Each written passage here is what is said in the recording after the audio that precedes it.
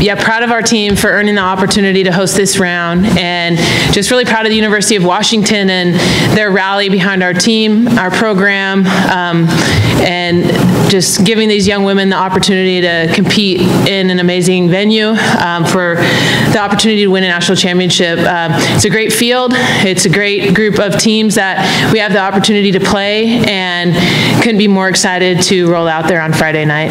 You guys got a week off, obviously in between. It's not typical. Usually you play the weekend before. Um, is that a good thing, bad thing, or I mean, how do you weigh the the rest versus rest part of this whole equation? The bye we had last weekend couldn't have come at a better time for this team.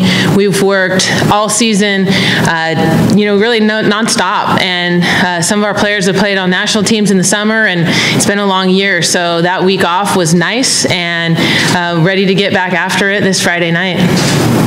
What do you do at Boise State, Heather? Uh, we know a lot about them as a program. Just uh, one of our former coaches, uh, an athlete that I coached at Pacific in my first coaching stint, is their head coach. A lot of these guys, when they were being recruited, she was here on staff, so we're very familiar with each other. Uh, obviously, we know that they run a great program. Uh, they're an emerging team in the Pacific Northwest, and we're happy to have um, another team in our region. Uh, that's very good to be able to compete against.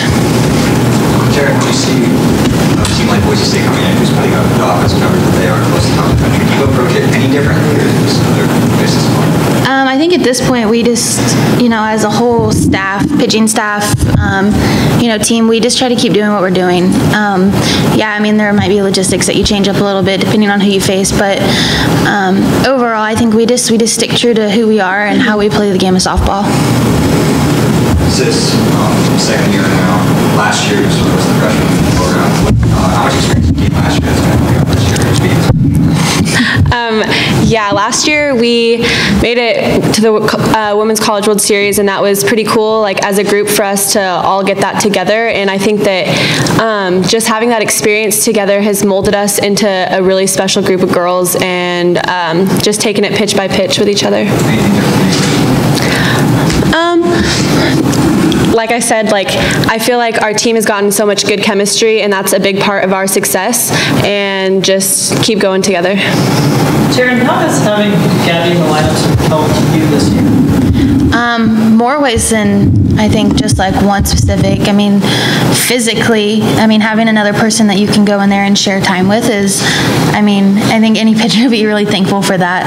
Um, and then she, we we feed off of each other's energy. We feed off of you know how we pitch and and I think you know she's we're good. We equal each other out, and you know I think that's what a good team needs to to be successful is to have you know two pitchers who can go in and you know and really get the job done.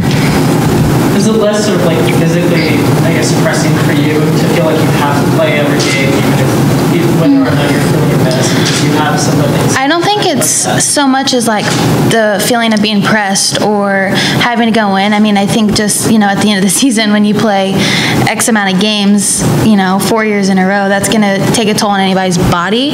But mentally, I don't think it's pressing at all. I think, you know, I mean, yeah, it's nice, but it also creates a, you know, a form of competition that's a healthy one. You know, we, we both want to be better, and so we, we work to beat each other, but be great at the same time.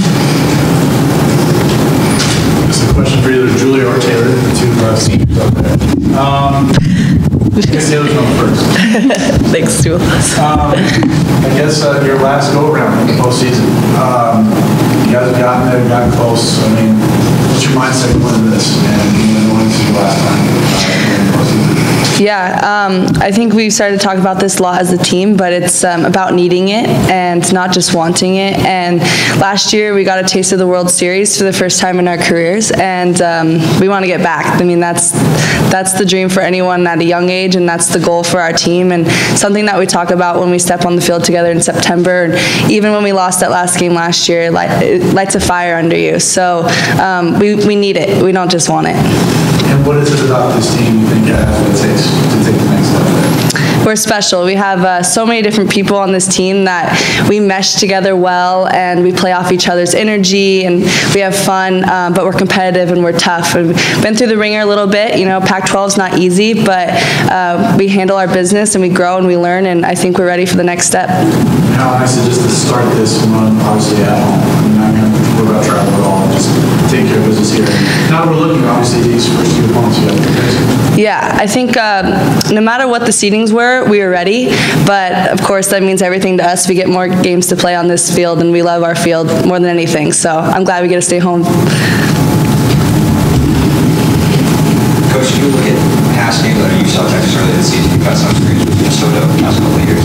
Is that something you look at, or you just, has this team's changed so much over the course of the season, that's all? I mean, it's always nice to have scouting information from your own games that you've played against teams. So you're not hypothesizing against, oh, well, let's see, this is a common pitcher to us and such. But I think, I mean, at the end of the day, you got to compete your butt off every single pitch. It doesn't matter if you've beat them before, it doesn't matter if they've beaten you before, and we have to take that approach.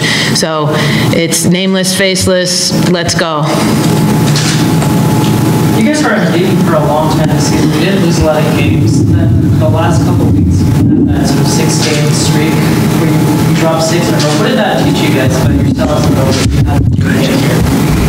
Um, I just think that we were in every single one of those games. I don't think that those six games felt like losses at all. I think that we learned more about ourselves in those six losses um, than we would have if we won those games. And like I said, it's or not like I said, but it's just one pitch. Like it was. This game is game of inches, and every single game we could have won or and or we lost. You know, but it was only by inches. So I just think that we were in all six of those games. We, like Taylor said, we learn from everything, and so yeah.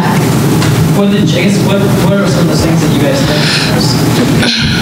think? that it only takes one pitch and that it's a game of inches. Um, because we were in every single one of those games and it doesn't matter you know like if you win or lose but sometimes like winning doesn't feel like you win and losing doesn't feel like you lost. So um, just it's a game of inches and that we were in every single game and that we're really good. And so that's what we learned